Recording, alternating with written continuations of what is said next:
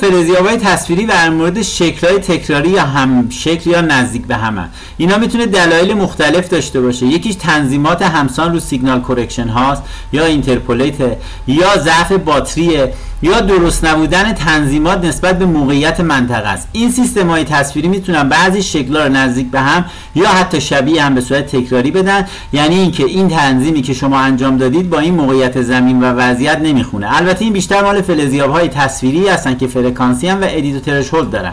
متاسفانه اون دسته که توانایی طراحی ساخت یا تولید فلزیابای تصویری رو ندارن میان موضوعاتی رو برای خریدارها میگن که این موضوعات از نظر تکنیکی قابل قبول نیست.